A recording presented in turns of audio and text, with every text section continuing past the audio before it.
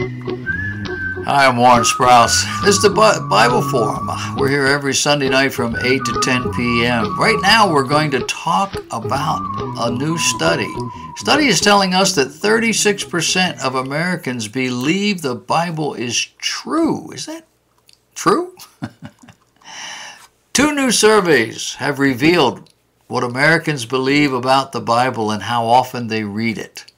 The two surveys were conducted by the Barna Group uh, along with the American Bible Society. And the other one was by Lifeway Research. That's a Southern Baptist organization. And all of this is according to Relevant magazine. The Barna American Bible Society study revealed that the number of Americans who read the Bible regularly and the number of Americans who are skeptical of the Bible has begun to stabilize after the amount of skeptics increased and the amount of regular Bible readers decreased back in 2011.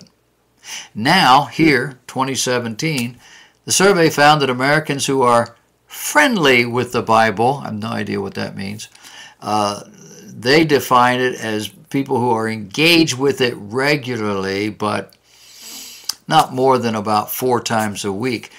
The people who are friendly with the Bible has increased to 38%, while those who are skeptical of the Bible, they see it as just another book of teachings written by men. And that number has decreased to 19%. So it looks like it's a good trend. The Barna American Bible Society survey also found that the older that a person was, the more likely they are to regularly engage with the Bible. The millennials, the 20, 30 somethings, they were found to be the least engaged with the Bible. Now, old people are looking at their mortality. These kids, they're not doing that. And besides which, they have grown up in a world that just laughs at the Bible. The Lifeway survey revealed some interesting things. It found that over a third of Americans found the Bible helpful.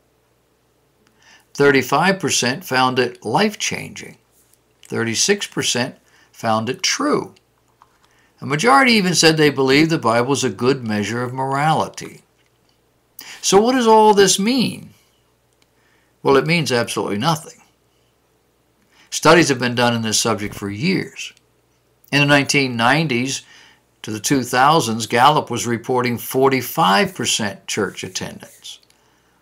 In 2005, the Journal of Scientific Study of Religion, conducted by uh, two respected researchers known for their scholarly research on the church, found that only 17.7 of Americans were actually in church each week. This represents 52 million Americans versus 132 million, that 40% number. Another study surveying the growth of U.S. Protestants and uh, by two other uh, one's called name is Marler and the other is Hadaway. I don't know who they are. Uh, discovered that while the majority of people they interview don't belong to a local church, they still identify with their church roots. Never mind, they said, the fact that they attend church less than 12 times a year. If they're Baptist, they're Baptist. If they're Episcopalian, they're Episcopalian. That's all there is to it. He said, We estimate that 78 million Protestants are in that category. Ask most pastors what the percentage of inactive members are, and they'll say anything from 40 to 60%. Pastor, why do you have inactive members on your roll? They're inactive. They're not here. Take them off. I pastored a church one time where you couldn't do that. I only lasted a year. They fired me. But we tried to clean up the rolls and we ran into person after person after person that nobody knew. Didn't know where they were. But we couldn't take them off the rolls because, God forbid, one day they might die and they want to be able to list this as their church. And silly me, I thought, that's crazy. We're worried about that. They're not worried about it. But on later thought, rumination, it was about getting the church's name in the paper. Well, they're members of such and such church. That's it's just dumb. But even with a broader definition of church attendance, classifying a regular attendee as someone who shows up at least three out of every eight Sundays, only 23 to 25 percent of Americans fit that category. Olson noted that an additional million church attendees would increase the percentage from 17.7 to only 18%. We're talking about uh, you'd have to find 80 million more people to get to the 40% level. And yet these other people are putting out this stuff. I don't know if you noticed it, but it's pretty much the religious types that put out these good numbers, and here's the secular types that are putting out these awful numbers. And of course, they're just putting it out because they're secular. I think they're probably right. And I think it's likely that this statistic disparity isn't a whole lot different now than it's always been. We have no idea, given the current condition of, of the church or Christendom, what this word phrase life changing means. It can mean almost anything. In the world of Benny Hinn, it could mean that you fell down dead on the, on the platform for uh, two hours and nobody could lift you off the floor. That's a life changing event. Joel Osteen's got a whole different view of what life changing events Christians are to experience and true? If it were true, why is the number of people finding it life changing not the same? Of course, it may be that 35 and 36% aren't statistically even, but it still begs the question if the Bible is true, and if the Bible is thereby helpful, then it must be life changing because that's its message. So, so I want the money these people are spending on surveys and studies. Another author, speaker, says 39% of Christians take the Bible literally. I think this is in the same category. This is a Pew Research study. It's bad news for believers in terms of their fidelity to Scripture, but not for the reason you might think. I think it's a poor reflection on the good folks over at Pew Research. It's quite simple. Literally, no one takes the Bible literally. No one. That's not what you do. You can't. What are they talking about? Otherwise, intelligent pollsters and journalists continue to ask the question as a gauge for who really takes the Bible seriously or too seriously, and Christians continue to play along. Knock on my door. Do you take the Bible literally? Of course not. It all shows how embarrassing this ignorance is. How many billions of Christians and Jews approach this important, world changing book? Hermeneutically. You want proof? All you have to do is open the Bible to any random page. As I was thinking through this, I just simply slipped my thumb into my closed Bible and aimlessly opened it to Ecclesiastes chapter 10, verse 2. The heart of the wise inclines to the right, but the heart of the fool to the left. If I say I take the scriptures literally, then I must believe my heart, this four chambered muscular organ beating in my chest, physically inclines to the left part of my chest cavity because I'm a fool. And it'll shift over to the other side were I to be wise. Now, my cardiologist would be fascinated with that.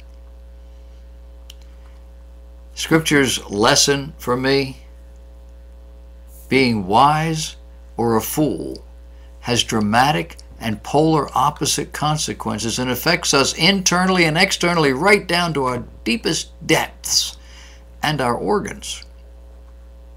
Here's another test. You randomly flip over a few books and find yourself at Psalm 62. It says in Psalm 62, verse 2, that God is my rock, my salvation, my fortress. That's good news. Take it literally. And it raises the question as to what kind of rock is this God? Ignatius? That's not right, that's a person. Igneous? Sedimentary? Metamorphic? I don't know. God says he's my fortress. He is stone, wood, or steel fortress. We're not sure. And how tall are those walls? What's the configuration? Are you disrespectful if you ask those kinds of questions? It seems that way. But that's the point. If anybody actually took the Bible literally, these would be perfectly reasonable questions for any serious student. But taking the Bible literally literally means taking the Bible as truth, not reading into it your own opinion, not creating alternative realities, not imposing your own opinions. And the illustrations for this sort of abuses are, are rampant. Any good reader understands the reality of metaphors and similes, hyperbole, irony, the parts of grammar and speech. And we respond to each one the way the author intended. The same when something is intended to be literal. And we do it without mixing them up or confusing the narrative. When Jesus says, I am the door, nobody thinks of it as literal. I don't take that literal. He's a person, he's not a door. But he is the door to heaven. Literally, Abraham existed. He actually did. He had a real child with Hagar, his wife's handmaiden. Literally, Jesus is God's Son who died on a Roman cross, physically rose from the dead, bodily ascended to the Father, and has promised to return. Some passages are poetic, as in much of the Psalms and the Song of Solomon, even some of Jesus' teachings. Some passages are metaphoric. Many of Jesus' parables and illustrations were like that. Acts chapter 1, verses 18 and 19. That's a rhetorical passage. Did every last bit of Judas's intestines spill out as he killed himself? Did every last person in Jerusalem hear about that event? Or is Luke speaking in a truthful generality? Descriptively, Joseph's jealous brothers threw him and his brightly colored coat into a deep hole and left him for dead. At Cana, Jesus said to the servants, Fill these jars with water, so they filled them to the brim. Literal. God's word is completely true, but it is not always literal. No faith tradition, even the most fundamental, has ever read the scriptures this way. It's obvious to anybody who takes 10 seconds to think about it. So why do we allow these descriptions? Why do we read these things? Oh, it's sloppy, it's inaccurate, it's not true. You take the Bible literally, a whole poll done on this, tens of thousands of dollars. Why do intelligent believers let the question stand, much less answer it? Our fidelity to the text, integrity to the scriptures, including the generally well-educated non-believer, requires that we, we correct for this error when it comes up, putting it out of its misery once and for all. Now, there are many, many passages that must be taken literally. Anything less would be destructive of the grammar, not to mention the storyline. And the storyline is powerful but only if you understand grammar. And I don't know if it's the questioners or the answerers, but somebody ain't taking this thing serious at all. Don't be confused by statistics and studies. Some of them are just silly.